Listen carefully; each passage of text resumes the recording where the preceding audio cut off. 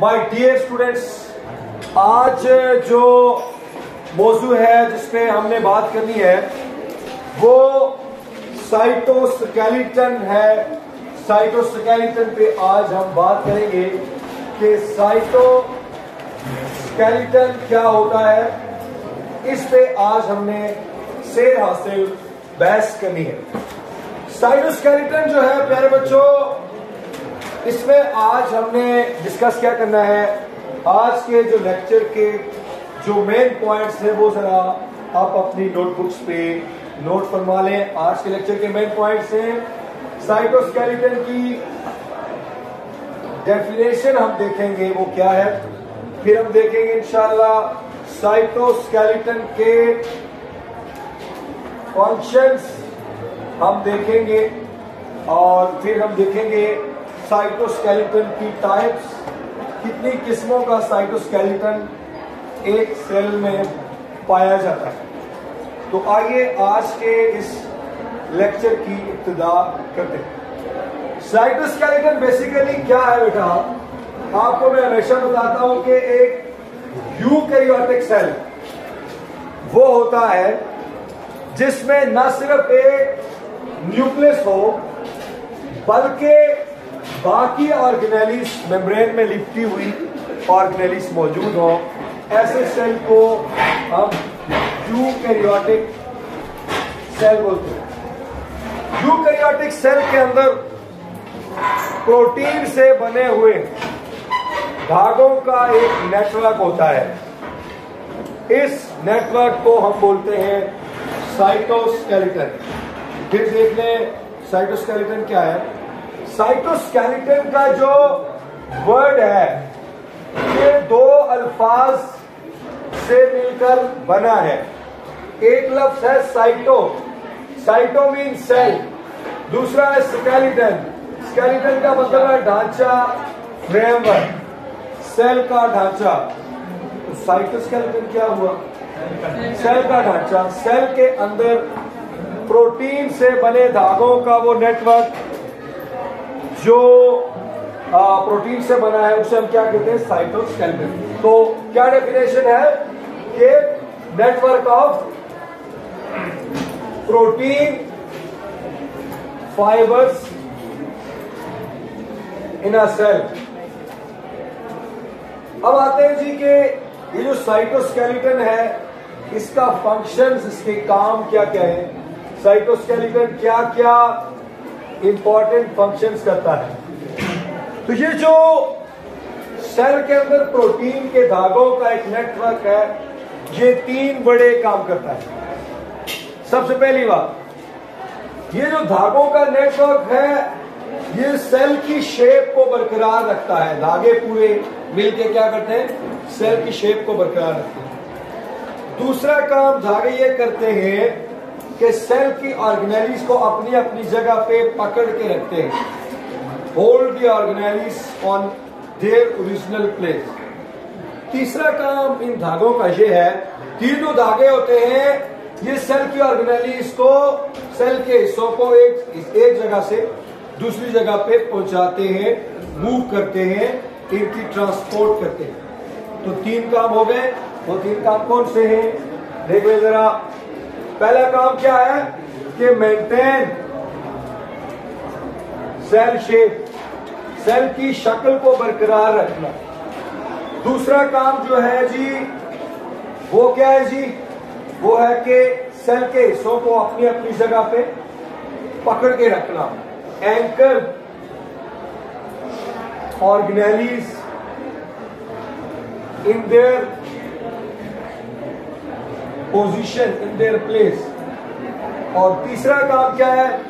Transport of organelles from one part to the other organelle को cell के एक हिस्से से दूसरे हिस्से में पहुंचाना तीसरा काम है कि ट्रांसपोर्ट या मूवमेंट ऑफ़ ऑर्गेनेलिस ठीक है? तो ये हो गए इसके फ़ंक्शंस अब आते हैं जी टाइप्स की तरफ़। साइटोस्केलेटन जो है, सेल का जो ढांचा है, उसकी कितनी टाइप होती है? तो टाइप पे बात कर लेते हैं। तीन तरह का स्केलेटन जो है, पाया जाता है। तीन तरह के धागे सेल का ढांचा बनाते हैं, तीन तरह। वो धागे कौन कौन से, आइए देखते हैं। वो धागे है number one microfilaments number two microtubules and number three क्या है? इंटरमीडिएट फिलामेंट्स इंटरमीडिएट फिलामेंट्स ये type it is also a short question short answer question the function of the cytoskeleton is also a short answer question and the definition of cytoskeleton is also a short answer question. Note कर लिया आप सबने जल्दी कर ले शाबाश हरी आप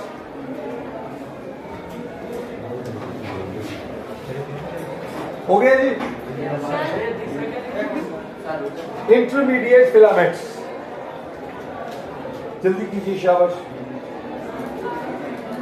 अब हम चलते हैं जी कि इन तीनों तरह के जो धागे हैं सेल के अंदर ये तीन तरह के जो धागे हैं फाइबर्स हैं, इनको वन बाय वन डिस्कस करते हैं इनका क्या क्या काम है। ये तीनों तरह के धागे जो हैं, ये कौन कौन से है जी? टाइप्स क्या है? नंबर वन क्या है जी? Microfilaments micro filaments number two क्या है? माइक्रो माइक्रोटिब्यूल्स माइक्रो ट्यूब्यूल्स और नंबर थ्री, फिर मैं बता देता हूँ, क्या है? Intermediate filaments. अब इन तीनों तरह के धागों में फ़र्क क्या है, ये याद रखने वाली बात है। बेसिक फ़र्क मैं आपको अभी बता देता हूँ। ये माइक्रोफिलामेंट सबसे पतले धागे हैं। Micro mean small filament mean धागे। सबसे बारीक, सबसे पतले।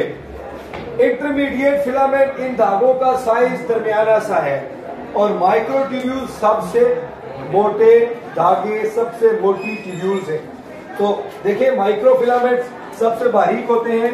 सेवन नैनोमीटर इनकी मोटाई है, थिकनेस है, डायामीटर है। इंटरमीडिएट फिलामेंट थोड़ा इससे ज़्यादा मोटे होते हैं। कितने? आठ से दस नैनोमीटर इनका की थिकनेस है। और माइक्रोट्यूब्यूल सबसे ज़्यादा मोटी होती है। इनका जो थिकनेस है, मोटाई है, वो 25 नैनोमीटर होती है। आइए इन सबको वन बाय वन डिस्कस करते हैं। इन तीनों का हमने क्या क्या डिस्कस करना है याद रखना इन तीनों की हमने डेफिनेशन देखनी है। इन तीनों की हमने स्ट्रक्चर देखनी है। और इन तीनों के हमने फ़ंक्शंस पे बात करनी है। तो आइए वन बाय वन इन तीनों की डेफिनेशन स्ट्रक्चर और फ़ंक्शन पे बात करते हैं। सबसे पहले हम बात करेंगे जी माइक्रो फिलामेंट्स के हवाले से माइक्रो फिलामेंट्स की बात करते हैं। माइक्रो फिलामेंट की सबसे पहले हम डिस्कस करते हैं इसकी डेफिनेशन क्या होती है। माइक्रो का मतलब है स्मॉल फिलामेंट्स में धागे। तो माइक्रो फिलामेंट्स क्या होते हैं? सेल के साइटोप्लाज्म में ये देखना, यूकैरियोटिक सेल के साइटोप्लाज्म में मौजूद बारीक से धागे जो कौन सी प्रोटीन के बने होते हैं? एक्टिन प्रोटीन के बने होते हैं। और ये धागे जो होते हैं, जी आज एक्टिन प्रोटीन के बने होते हैं। और तकरीबन कितने मोटे होते हैं? सात नैनोमीटर इन्हें हम क्या कहते हैं? माइक्रोफिलामेंट्स फिर देख ले माइक्रोफिलामेंट्स क्या है? कौन सा सेल यूकैरियोटिक सेल के साइटोप्लाज्म में बारीक से धागे। कौन सी प्रोटीन के? एक्टिन प्रोटीन के बने हुए होते हैं कितने मोटे? सेवन नैनोमीटर क्या कहलाते हैं? माइक्रोफिलामेंट्स तो माइक्रोफिलामेंट्स की डेफिनेशन क्या लिखेंगे? कि सवाल, या हम कहेंगे कि these are filaments filaments of seven nanometre diameter यानी इनका डायामीटर इनकी मोटाई सेवन नैनोमीटर है and made up of made up of actin protein actin protein के बने होते हैं। And आर फाउंड और पाए जाते हैं। किसमें पाए जाते हैं? In cytoplasm of eukaryotic cells ये हो गया जी माइक्रोफिलामेंट्स की डेफिनेशन अब आते हैं जी के माइक्रोफिलामेंट्स की स्ट्रक्चर कैसी होती है इन धागों की। स्ट्रक्चर पे जरा बात करेंगे कि इनकी स्ट्रक्चर ये नोट कर ले जल्दी जल्दी। अब आते हैं जी कि इनकी स्ट्रक्चर पे हम बात करते हैं, इन धागों की शक्ल कैसी होती है। तो प्यारे बच्चों, बात यह है कि हर एक माइक्रो फिलामेंट जो होता है, वो दो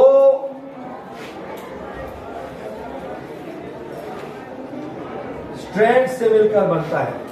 हर एक माइक्रो फिलामेंट दो स्ट्रैंड से मिलकर बनता है, दो लड़ियों से मिलकर बनता है और हर लड़ी के अंदर एक्टिन मालिक्यूल्स होते हैं। ये एक्टिन मालिक्यूल्स हैं और इस लड़ी के अंदर भी एक्टिन मालिक्यूल्स हैं। ठीक हो गया? और दूसरी लड़ी में भी किसके मालिक्यूल हैं? एक्टिन के। और ये दोनों लड़ियाँ एक दूसरे के ऊपर क्या है? ये दोनों लड़ियाँ एक दूसरे के ऊपर क्या है? लिपटी हुई है। जरा इधर देखें आगे फाड़ फाड़ के। इधर देखें, ये एक माइक्रो फिलामेंट है, एक धागा है। पहली बात, ये रॉड लाइक है। क्या है? रॉड लाइक है। इसकी मोटाई कितनी है? Seven nanometre. तीसरी बात, ये जो माइक्रोफिलामेंट है, ये दो स्ट्रैंड से दो लड़ियों से मिलकर बना है। कितनी लड़ियों से? दो लड़ियों से। हर लड़ी के अंदर क्या है? एक्टिन के मालिक्यूल्स हैं एक्टिन की यूनिट्स हैं। और ये दोनों लड़ियाँ क्या कर रही हैं? एक दूसरे के ऊपर लिपटी हुई है। समझ आ गई? तो ये है एक्टिन ये है माइक्रो फिलामेंट क्या है? माइक्रो फिलामेंट समझ आई? तो माइक्रो फिलामेंट जो है बस ये स्ट्रक्चर है। अब आते हैं माइक्रो फिलामेंट की स्ट्रक्चर के बाद। ये स्ट्रक्चर ऑफ़ माइक्रो फिलामेंट इसके फ़ंक्शंस क्या क्या है? माइक्रो फिलामेंट ये धागा क्या क्या काम करता है? What are the functions of micro filament तो इसके तीन बड़े फ़ंक्शन हैं। कितने फ़ंक्शन हैं? तीन। बड़े फ़ंक्शन होते हैं माइक्रो फिलामेंट के। वो कौन कौन से फ़ंक्शन है ये जरा देख लें। सबसे पहला फ़ंक्शन ये है कि ये माइक्रो फिलामेंट क्या करता है? आप देखें कि ये जो आपको पहला सेल नज़र आया इसकी शेप और है और दूसरे सेल की शेप और है। ये कैसे शेप चेंज हुई? सेल के अंदर माइक्रो फिलामेंट थे। जिन्होंने क्या किया? सेल की शेप को चेंज कर दिया। तो पहला काम क्या है? चेंज सेल शेप यानी ये माइक्रो फिलामेंट्स क्या करते हैं?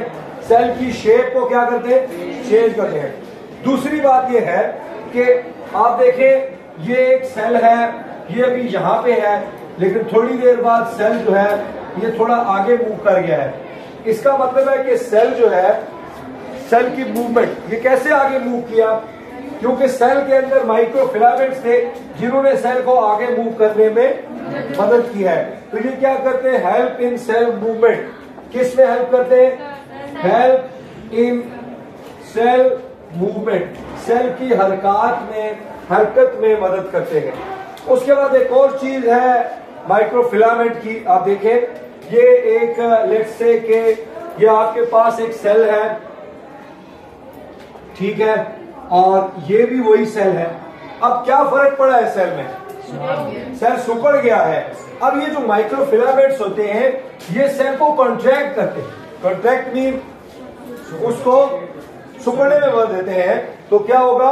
Help in help in cell contraction cell को सुकड़ने में मदद देते हैं। अच्छा एक और बात करूँगा इसमें एक और फ़ंक्शन हम डिस्कस कर लेते हैं। वो क्या है? वो फ़ंक्शन ये है कि आप देखें हमारे पास ये एक सेल है। क्या है? एक सेल है, लेकिन दरमियान से पिचका हुआ है। दरमियान से अब क्या होगा? माइक्रोफिलामेंट्स आएँगे। जी आप अनस और आप सर एक तो ये आए लेट है। लेट आने के बाद जो दूसरी क्लास में घूम रहे बच्चे खा ठीक है मैं देख लूँगा। माइक्रोफिलामेंट्स क्या करते हैं? ये एक सेल है लेकिन दरमियान से थोड़ा सा इसका है। अब माइक्रोफिलामेंट्स क्या करेंगे जरा देखना। माइक्रोफिलामेंट्स आए और इन्होंने क्या किया इस सेल को? दबाया दरमियान से और जिसकी वजह से क्या हुआ? कि एक सेल दरमियान से क्या हो गया? दो टुकड़ों में डिवाइड हो गया। तो माइक्रोफिलामेंट्स क्या करते हैं? सेल डिवीज़न में हेल्प करते हैं। जहाँ ये एक सेल को दरमियान से कॉन्ट्रैक्ट दबा के दो टुकड़ों में डिवाइड कर लेते हैं। तो इसका और क्या काम है? Help in cell division cell की तकसीम में अपना किरदार अदा करते हैं। एक और काम भी है माइक्रोफिलामेंट्स का। वो सारे ही फिलामेंट्स का काम है। वो ये है कि मेंटेन सेल शेप सेल की शक्ल को बरकरार रखना, फिर एक और काम है कि सेल की सरफेस के ऊपर कुछ उभरे हुए हिस्से होते हैं। सेल की सतह के ऊपर छोटे छोटे कोई उभरे हुए हिस्से होते हैं, बाजू का, जिन्हें हम सेल प्रोजेक्शंस कहते हैं। क्या कहते हैं? सेल प्रोजेक्शंस ये सेल प्रोजेक्शंस किसकी बनी होती है? माइक्रो फिलामेंट्स की। तो ये क्या है कि इसको हम क्या लिखेंगे कि फॉर्म इट फॉर्म ये बनाता है सेल प्रोजेक्शन सेल के उभरे हुए हिस्से जो है ये किससे बने होते हैं? माइक्रो फिलामेंट से। समझ आ गई? तो ये माइक्रो फिलामेंट्स के फ़ंक्शन है। फिर देख ले माइक्रो फिलामेंट क्या है? सबसे बारीक धागा है। सबसे बारीक धागा है सेल के अंदर। ये किस तरह का है? रॉड लाइक किस तरह का है? इसकी मोटाई कितनी है? सात नैनोमीटर। और कौन सी प्रोटीन का बना है? ये तो डेफिनेशन है। स्ट्रक्चर इसकी क्या है? हर एक माइक्रोफिलामेंट दो स्ट्रैंड से मिलकर बना है। दो स्ट्रैंड मीन दो लड़ियों से मिलकर बना है। इन स्ट्रैंड्स के अंदर कौन से मालिक्यूल है? एक्टिन मालिक्यूल है जो हर स्ट्रैंड को बनाते हैं। और दोनों स्ट्रैंड्स एक दूसरे के ऊपर ओवरलैप कर रहे हैं। लिपटे हुए हैं। ठीक है? और उसके बाद स्ट्रक्चर के बाद इसके फ़ंक्शंस जो हैं वो हमने डिस्कस किए।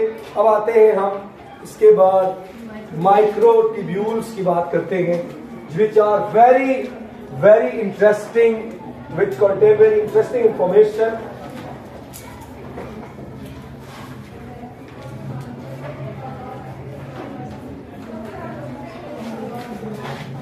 अब आते हैं जी हम किस पे? माइक्रो टिब्यूल्स पे। Number two micro tubules micro की भी हमने आ, दो तीन चीज़ें देखनी है। वही एक तो डेफिनेशन हम इसकी देखेंगे कि माइक्रो टिब्यूल्स होते क्या है।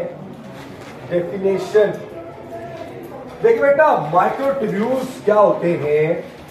दरअसल जो माइक्रो टिब्यूल्स हैं वो सेल के अंदर किस तरह की स्ट्रक्चर होते हैं? सिलेंड्रिकल स्ट्रक्चर होती है। किस तरह की स्ट्रक्चर होती है? सिलेंड्रिकल स्ट्रक्चर होती है।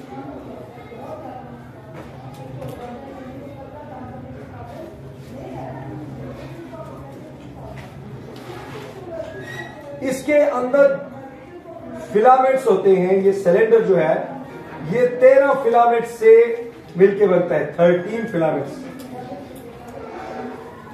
तेरह फिलामेंट्स तेरह या चौदह फिलामेंट्स होते हैं इसके अंदर। और हर फिलामेंट के अंदर मालिक्यूल्स होते हैं ट्यूब्यूलिन के, किसके? ट्यूब्यूलिन प्रोटीन के मालिक्यूल्स होते हैं। ये छोटे छोटे फिलामेंट्स हैं जी। और इन फिलामेंट्स का नाम है प्रोटोफिलामेंट क्या नाम है? प्रोटोफिलामेंट और इन प्रोटोफिलामेंट की तादाद तकरीबन तेरह से चौदह होती है। ये कौन से फिलामेंट्स है जो आपको ग्रीन कलर में नज़र आ रहे हैं? दीज आर प्रोटोफिलामेंट्स प्रोटोफिलामेंट्स और हर प्रोटोफिलामेंट के अंदर जो मालिक्यूल्स पाए जाते हैं, कौन से मालिक्यूल हैं तो ये वाले मालिक्यूल जो हैं ट्यूब्यूलिन के हैं। कौन से मालिक्यूल्स हैं? ट्यूब्यूलिन यूनिट्स हैं या ट्यूब्यूलिन मालिक्यूल्स हैं जो हर एक फिलामेंट के अंदर मौजूद हैं। These are tubulin units. Or in other words, we can say that these are tubulin molecules which form each protofilament हर एक प्रोटोफिलामेंट के अंदर छोटे छोटे मॉलिक्यूल्स हैं ट्यूब्यूलिन के और ये ट्यूब्यूलिन के मॉलिक्यूल्स मिलके एक फिलामेंट बनाते हैं और तकरीबन 13 से 14 फिलामेंट जब आपस में मिलते हैं तो एक सिलेंडर बनता है। और इस सिलेंडर लाइक स्ट्रक्चर को हम क्या बोलते हैं? माइक्रो ट्यूब्यूल समझ आ रही है बात की? तो जरा देख ले एग्जैक्टली तेरह होते हैं या चौदह होते हैं? तेरह होते हैं, ठीक है? अब देख ले माइक्रोटिब्यूल क्या होती है? माइक्रोटिब्यूल एक सिलेंडर लाइक स्ट्रक्चर है। क्या है? सिलेंडर लाइक स्ट्रक्चर है। ये cylinder like structure tubulin protein की बनी है। किसकी बनी है? ट्यूब्यूलिन प्रोटीन की बनी है। It's a cylinder like structure made up of tubulin protein ये सिलेंडर लाइक स्ट्रक्चर है जो ट्यूब्यूलिन प्रोटीन की बनी हुई है। Made up of tubulin protein और ये सिलेंडर एक ये तो इसकी डेफिनेशन होगी क्या डेफिनेशन है जी?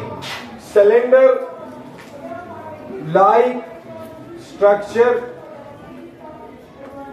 made up of tubulin protein एक तो ये इसकी डेफिनेशन है। अब आते हैं इसकी स्ट्रक्चर पे। किस पे आते हैं? स्ट्रक्चर पे। अब देखिए माइक्रोटिब्यूल ये जरा गौर से तो देखना। माइक्रोटिब्यूल की स्ट्रक्चर शक्ल कैसी है? माइक्रोटिब्यूल पहली बात किस तरह की है? सिलेंडर लाइन दूसरी बात हर एक माइक्रोटिब्यूल जो है, इसका जो थिकनेस है मोटाई है। कितनी है? 25 नैनोमीटर दो बातें होगी। तीसरी बात, हर एक माइक्रोटिब्यूल छोटे छोटे फिलामेंट्स से मिलकर बनी है। इन फिलामेंट्स को क्या कहते हैं? प्रोटो फिलामेंट अगली बात, हर एक फिलामेंट के अंदर छोटी छोटी यूनिट्स होती है। इन यूनिट्स को हम क्या बोलते हैं? क्या बोलते हैं? ट्यूब्यूल ट्यूब्यूलिन यूनिट्स क्या बोलते हैं? ट्यूब्यूलिन यूनिट्स माइक्रोट्यूब्यूल से याद रख लें ट्यूब्यूलिन यूनिट्स हर एक ट्यूब्यूलिन यूनिट जो है उसके दो पार्ट्स होते हैं। कितने पार्ट्स होते हैं? दो। पार्ट्स होते हैं। एक को हम कहते हैं अल्फ़ा ट्यूब्यूलिन और दूसरी को हम क्या कहते हैं? बीटा ट्यूब्यूलिन ये होगी स्ट्रक्चर क्या होगी जी? स्ट्रक्चर फिर सुन ले स्ट्रक्चर इनकी कैसी होती है? कहता है माइक्रो ट्यूब्यूल जो होती हैं इनकी स्ट्रक्चर ट्यूब लाइक होती है या सिलेंडर लाइक होती है। समझ आ गई? और इनका डायामीटर इनकी मोटाई कितनी है? 25 नैनोमीटर समझ आ गई? अगली बात। हर एक माइक्रो ट्यूब्यूल जो है, तेरह छोटे छोटे दागों से मिलकर बनती है। इन दागों को क्या कहते हैं? प्रोटोफिलामेंट्स हर धागे के अंदर छोटी छोटी यूनिट्स हैं। इन यूनिट्स को क्या बोलते हैं? यूनिट्स हर ट्यूब्यूलिन यूनिट जो है उसके दो पार्ट्स होते हैं। दो छोटे छोटे पार्ट्स होते हैं। अल्फ़ा ट्यूब्यूलिन और beta tubulin this is about the structure of microtubule अब आते हैं जी माइक्रोट्यूब्यूल के फ़ंक्शंस क्या क्या है? माइक्रोट्यूब्यूल्स के काम क्या क्या है? माइक्रोट्यूब्यूल जो होती है जी इसके फ़ंक्शंस जो है ये तीन इंपॉर्टेंट फ़ंक्शंस का अंजाम देती है। क्या क्या फ़ंक्शन है इसके हम देख लेते हैं। फ़ंक्शन इसके तीन इंपॉर्टेंट फ़ंक्शन क्या है? देख लेते हैं। पहला फ़ंक्शन माइक्रोट्यूब्यूल का ये है कि माइक्रोटिब्यूल जो है, ये लिविंग ऑर्गेनिजम्स के अंदर क्या बनाती है? आपने पढ़ा है, जैसे सेंट्रियोल के अंदर आपने पढ़ा। ये क्या बनाती है जी? सीलिया बनाती है। अगली बात माइक्रोट्यूब्यूल जो है, इसका अगला फ़ंक्शन ये है कि ये लिविंग ऑर्गेनिजम्स के अंदर एक और स्ट्रक्चर बनाती है, जिसे हम क्या बोलते हैं? फ्लैजिला क्या बोलते हैं जी? फ्लैजिला तो माइक्रोट्यूब्यूल्स क्या बनाती है? सीलिया और फ्लैजिला बनाती है। दूसरी बात माइक्रोट्यूब्यूल्स का एक और काम भी है। वो ये है कि माइक्रोट्यूब्यूल्स ये आप देखिए एक सेल है। सेल के अंदर ये पड़ा हुआ है माइटोकॉन्ड्रिया क्या पड़ा हुआ जी? ये माइटोकॉन्ड्रिया चाह रहा है कि यार मैं यहाँ पे पहुंचू। इसकी नज़र इधर है, मैंने यहाँ पहुँचना है। तो ये माइक्रोकॉन्ड्रिया यहाँ पे कैसे पहुंचेगा?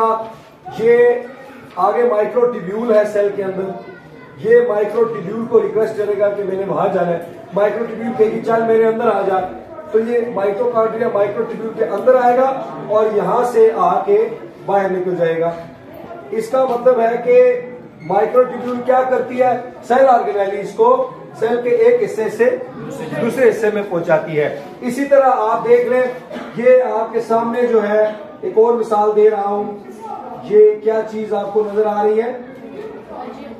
जी, क्या है गॉल्जी अपरेटिस क्या है?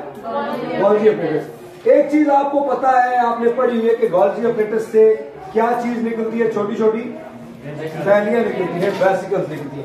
ये वेसिकल जो है, अपने मटेरियल को सेल से बाहर लेके। लेकिन इन वेसिकल को आगे लेके कौन जाएगा? तो ये वेसिकल जो है, इनके आगे मौजूद है, एक माइक्रोटिब्यूल मौजूद है। तो ये वेसिकल जो है, ये थैली माइक्रोटिब्यूल को रिक्वेस्ट करेगी कि मुझे आगे प्लाज्मा मेम्ब्रेन तक पहुँचा दो।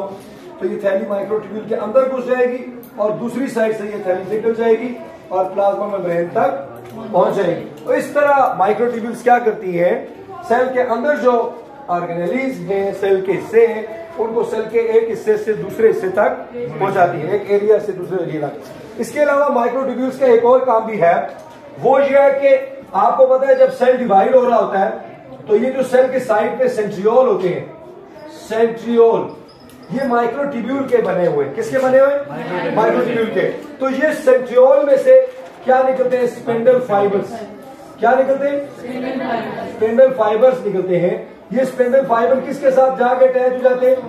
क्रोमोसोम के साथ और क्रोमोसोम को मूव करते हैं। तो माइक्रोट्यूब्यूल्स का ये काम है they form centrioles and that are helpful in the organisation of and organisation of spindle fibres for the movement of the chromosome ये एक और फ़ंक्शन है माइक्रोट्यूब्यूल्स का। तो ये सारे फ़ंक्शन जो हैं ये माइक्रोटिब्यूल्स के समझ आ गई सबको? सर तो ये हो गया जी माइक्रोटिब्यूल्स फाइनली हम डिस्कस करेंगे जी बेटा? फ़ंक्शंस में आपको दोबारा बता देता हूँ। माइक्रोटिब्यूल जो है इसके तीन बड़े काम है। कितने बड़े काम है? तीन बड़े काम है। नंबर वन माइक्रोटिब्यूल से सीलिया बनते हैं और फ्लैजिला बनते हैं। एक और काम भी है। सीलिया की बेस पे जो पाई जाती है बेसल बॉडी। और फ्लैजिला की बेस पे क्या पाई जाती है? Basal body. ये बेसल बॉडी बेसिकली क्या है? सेंट्रियोल है। और सेंट्रियोल किसका बना है? माइक्रोटिब्यूल का। तो बेसिकली माइक्रोटिब्यूल्स बेसल बॉडीज बनाती है। दो काम। तीसरा काम माइक्रोट्यूब्यूल्स क्या करती है? सेल के एक हिस्से से सेल की ऑर्गेनेलिस को एक हिस्से से दूसरे हिस्से तक पहुंचाती है।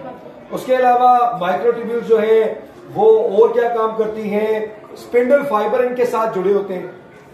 और ये स्पिंडल फाइबर्स को ऑर्गेनाइज करती हैं ताकि वो क्रोमोसोम के साथ जाके अटैच हो सके। तो ये माइक्रोट्यूब्यूल के फ़ंक्शन है। लास्ट पे हम डिस्कस करेंगे इंटरमीडिएट फिलामेंट्स डिस्कस करेंगे। इंटरमीडिएट फिलामेंट्स इसकी एक तो हमने डेफिनेशन डिस्कस करनी है, एक स्ट्रक्चर डिस्कस करनी है और एक फ़ंक्शन डिस्कस करना है। तो इंटरमीडिएट फिलामेंट इंटरमीडिएट का क्या मतलब होता है? दरमियाने से। फिलामेंट्स में धागे। सेल के अंदर ये वो धागे होते हैं जिनकी मोटाई दरमियानी है। ना ज़्यादा मोटे, ना कम मोटे। ना ज़्यादा मोटे, ना कम मोटे। दरमियाने से मोटे होते हैं। ऐसे धागों को क्या कहते हैं? इंटरमीडिएट फिलामेंट ये फिलामेंट्स जो होते हैं। ये फिलामेंट्स यूकरियोटिक सेल के साइटोप्लाज्म में, यूकरियोटिक सेल के साइटोप्लाज्म में फिलामेंट्स पाए जाते हैं। और ये जो फिलामेंट्स होते हैं, ये बहुत सारी प्रोटीन्स के बने होते हैं। एक फिलामेंट एक प्रोटीन का बना होगा, दूसरा दूसरी प्रोटीन का, तीसरा तीसरी प्रोटीन का। कुछ वाइमेंटन प्रोटीन के बने होते हैं, कुछ डेस्मेन प्रोटीन के बने होते हैं, कुछ केराटिन प्रोटीन के बने होते हैं। तो ये आ गया इंटरमीडिएट फिलामेंट्स और इनकी मोटाई कितनी है? आठ से दस नैनोमीटर होती है। और ये हो गया। तो फिर हम क्या लिखेंगे इसकी डेफिनेशन में? इसकी डेफिनेशन में हम ये लिखेंगे कि ये वो फिलामेंट्स होते हैं इंटरमीडिएट फिलामेंट्स जो यूकैरियोटिक सेल के साइटोप्लाज्म के अंदर पाए जाते हैं। और ये जो फिलामेंट्स होते हैं, इनकी मोटाई कितनी है? पहली बात क्या लिखेंगे? Found in cytoplasm of eukaryotic cell एक बात।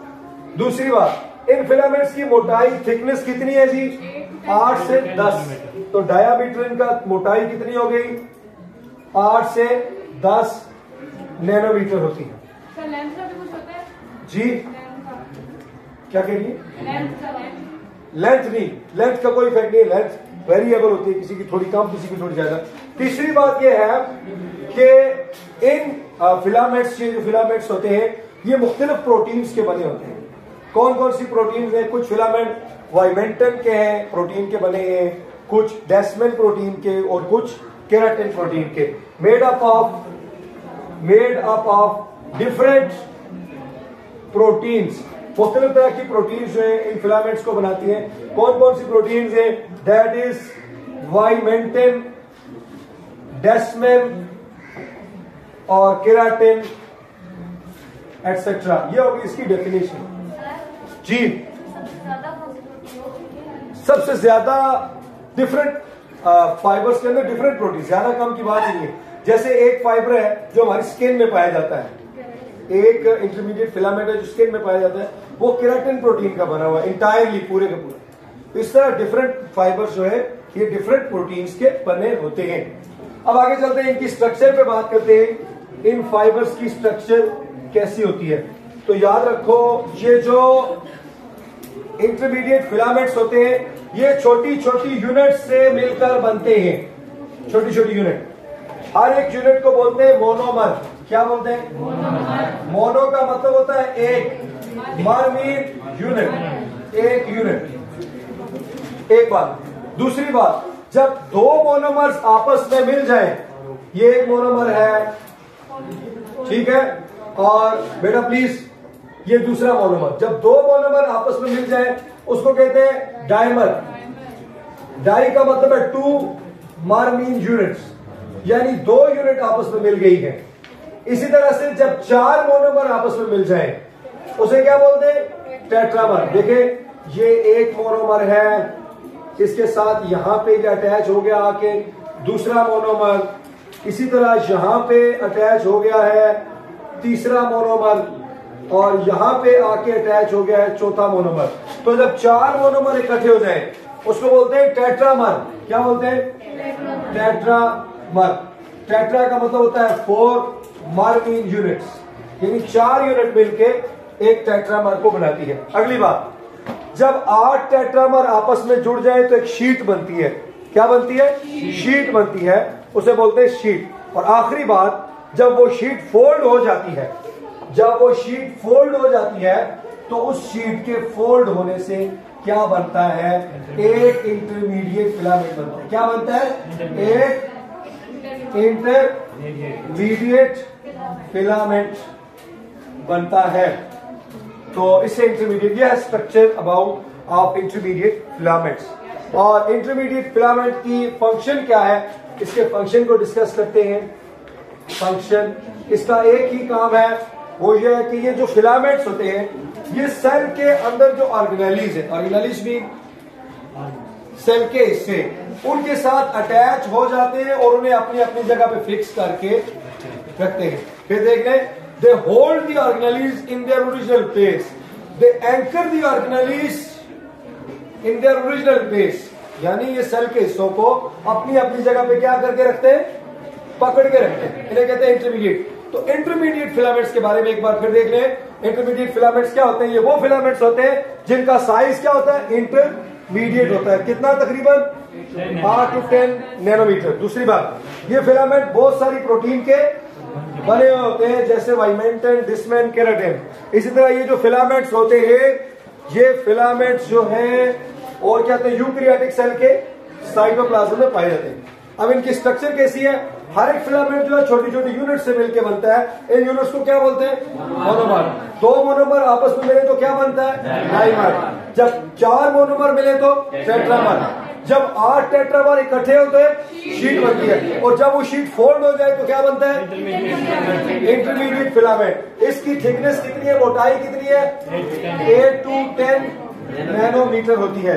और इसका काम क्या है? ये सेल के ऑर्गेनाइज को अपनी अपनी जगह पे फिक्स करके रखता है उनको पकड़ के रखता है अपनी जगह पे अपनी पोजीशन पे।